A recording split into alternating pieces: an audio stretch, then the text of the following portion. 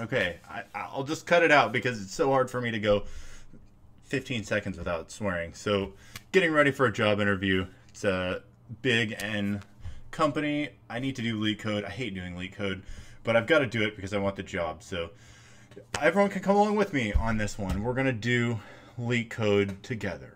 The goal is to get an easy Leetcode done in 10 minutes.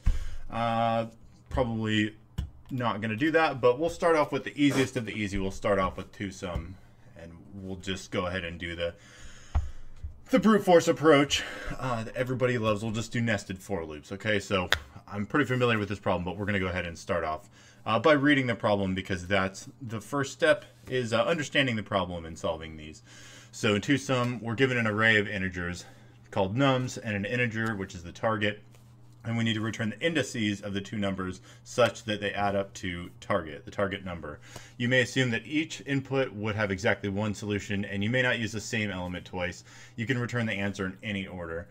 Okay, great. So, uh, yeah, we're not going to return the actual numbers that add together. We're going to return their indices in the array, which is stupid, but okay, we'll do that. Uh, so first we're going to need the array that we're going to return. So and we're going to do it in C sharp because that's uh, that's what I'm saying is my most proficient language. So here we go. We've got the indexes because indices is ugly to say. Um, equals new int, and it's going to have two. And then we're just going to start with the brute force loop, of course. Uh, the brute force solution, which is going to be nested for loops. Not the best, but we're just going to start off with that. So i equals 0, i is less than target dot length, and it's a property, so L is fucking capitalized. Uh, and then, so that's going to traverse through the array to start, and then we're going to go ahead and have our second for loop, and call it k. k is less than target length. Uh, k increments we're trying to do this in less than 10 minutes. Uh, so we're going to try and get it done uh, by 4.55, let's say. Uh, so we're going for the target. Okay. Uh, just going to draw a blank. Reminds me of an interview I've had in the past where I just completely forgot what I was saying. Uh, but that's fine because that's how it works. So now, uh, as practice, I'm practicing narrating this as well. So we're just going to go through and look at if nums i uh, plus nums k equals target return uh, okay then we're going to set those values into uh, into our index that we're going to return turn.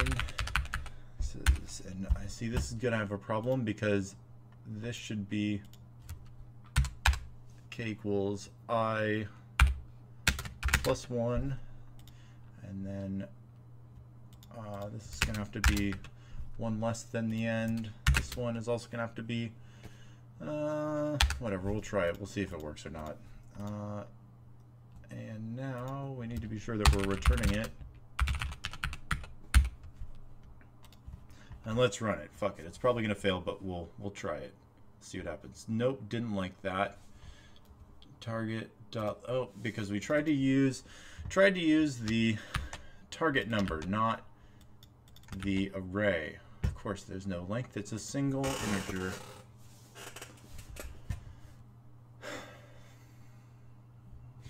Nope, doesn't like that either. Uh, if, oh, check the conditional. There we go, accepted. So brute force solution. We'll go ahead and submit it, see if it takes it. Uh, it did. Great. Uh, we're in. So there is the most simple solution, the brute force solution uh, for two sum. Now, if you want to be cool, the cool kids, they use a dictionary. And this is one that uh, may not come as quickly, but we'll try it. So instead, of having two for loops that iterate through the list that you're given and just try adding together every single number. We're going to try adding the complement to the dictionary. Uh, so basically we'll have a dictionary that will keep the indexes. So depending on what the target is, it will give us basically our answer. Um, so first, we're going to need that same uh, array to return.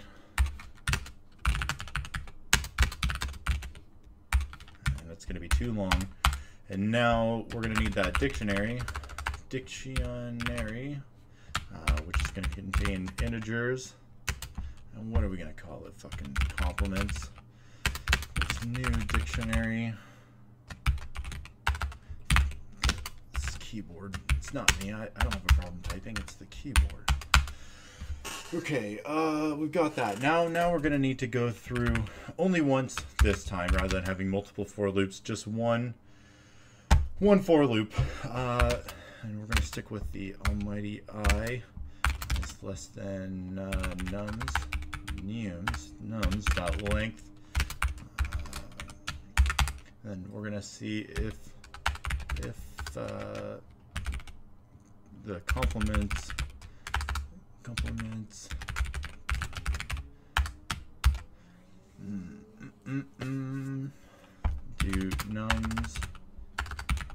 I minus target. Uh, in that case we will have the so nums i we're going to be setting in the dictionary uh, or num target minus nums i. That's going to be the complement. I'm not sure exactly. Uh, we'll, we'll, just give it a shot and see if it turns out. Um, you never know. Sometimes you just got to code by feel, by smell. Code smells, they call it. Um, so if, if it has that, then we're going to set uh, indexes 0, the first index, to i, because the order doesn't matter. Uh, we're going to come back over here and then indexes 1, the second element in the array is going to be what? Uh, complements. This is not how you spell complements. Let's just nip that in the bud. Complements. Uh, let's see. Nums i minus target. That means we found it. Uh, returns indexes. And then otherwise, if it's not in there, we're going to add it to the dictionary. Um, so we're going to go complements, complements, complements, dot add. Oh, let's see. Nums i. Uh, we're going to need target minus nums i actually. Again, the, it's the coding intuition. I think the more you code, the more you just kind of get a sense for it. That doesn't seem right. That that does not seem right. Okay, and now we iterate through just once, and then we just return our uh, indexes if it doesn't work. And now let's let's wing it. Let's see what happens. Let's run. Uh, didn't like that because we only gave it the key and not the value.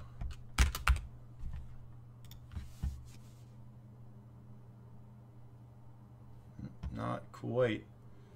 Key minus 7 was not um, okay.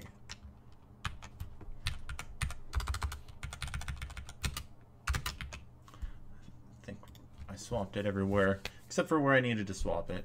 Didn't like that. Still doesn't like that. Given key 7 was not okay. Okay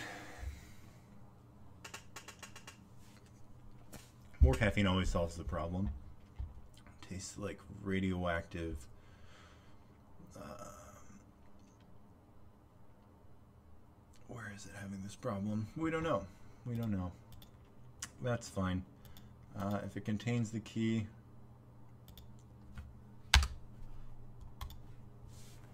extra exclamation point in there. It's causing problems. Well, well, we passed one. We passed one of them. Okay, why is this not working? Uh, just isn't isn't doing shit. If it contains the key, target minus nums, then that means it has the complement. Let's see. Let's just let's just set a variable, whatever. complement. We'll just set it up here, and we'll just say complement. We'll make it a little bit more readable. We'll add a variable here that that's readable, that's human readable. We're not going to do that calculation every time. Complement equals target minus nums. Yes. Okay, and then if it contains complement, um, I don't know.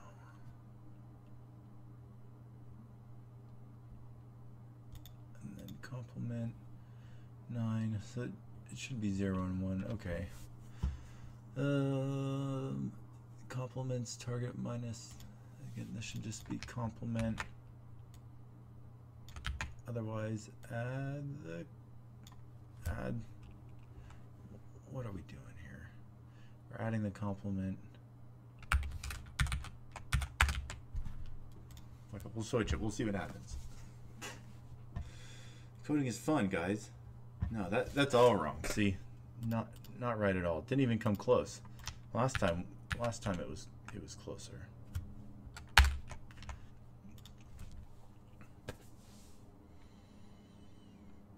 Okay, so this time at least we got we got the order closer than than we thought. Okay, so if it contains the key um, zero and one, I guess we could have gotten this right either way.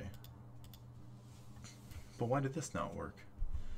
Uh, let's try walking through it. If we can't walk through it, then we'll ask ChatGPT. We'll see, because ChatGPT always knows it's been trained on all of this, on on countless things of Stack Overflow. So it's very fun.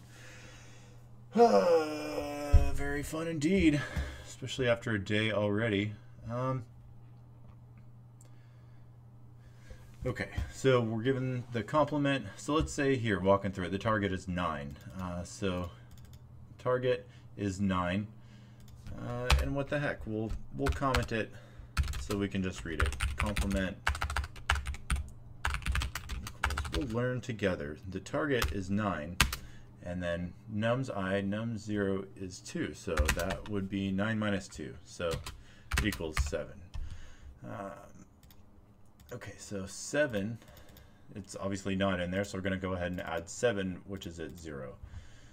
Uh, 7 is at 0, and now we go on, increment it to the next one.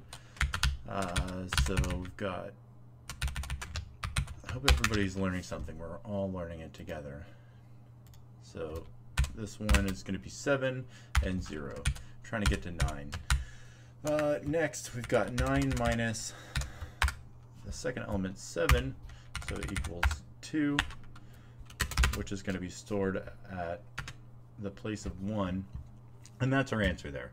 Uh, so that's also not in there, so we're adding it. Um, not sure where we're going wrong. Whatever. I'm feeling lazy. Let's ask ChatGPT. Why is this not working?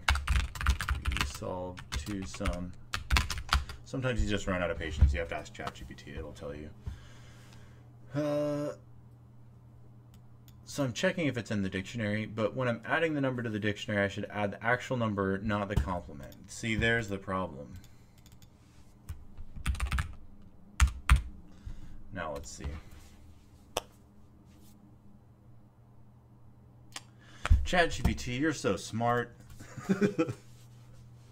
Sometimes that's all it takes. Almost. Why did this not work? An item has already been added. Uh, what the fuck kind of test case is this? It's already been added. Else.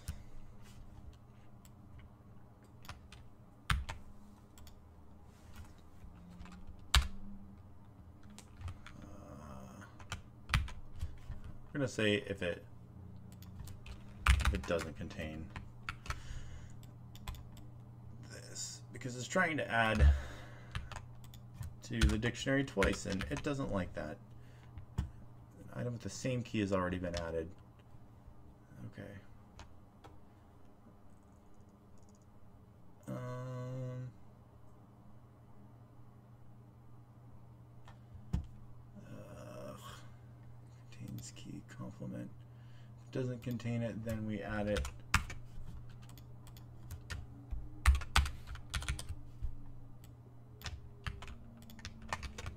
Because you can't have two keys with different values in a dictionary. It's just not allowed.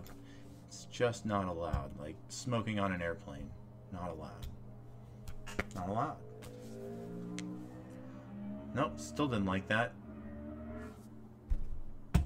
Can you fucking shut up? People on motorcycles had to live next to the freeway. Just get on the freeway. Just, okay. All is well. All is well.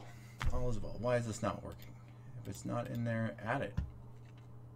Add it with the same keys already been added. Contains key complement. Add. Uh,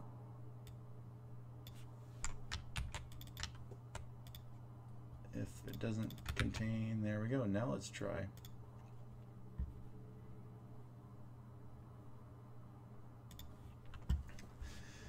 Checking for the complement, not. There we go. I don't know if it's any better. I didn't remember the speed from last time, but there we go. With the help of ChatGPT, it's a wrap.